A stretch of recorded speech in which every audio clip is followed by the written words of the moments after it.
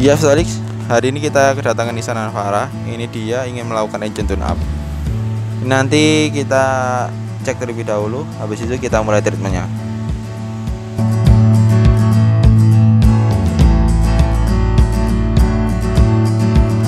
Ini proses untuk membongkar total body dan pipa egernya. Ini total body yang kita bersihkan. Ini pipa eger yang akan kita bersihkan ini kita lepas filter solarnya. Kita akan bersihkan filter solarnya.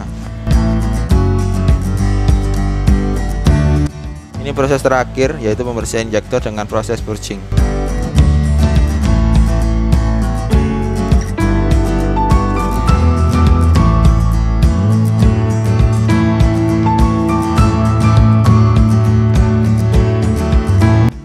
Ya, story itu tadi proses engine tune up dari Nissan Navara Tentunya dengan tune up tarikan Nissan Navara ini kembali seperti baru. Terima kasih sudah menonton video ini. Jangan lupa untuk like, subscribe, dan share video ini. Jangan lewatkan video selanjutnya. Sampai jumpa.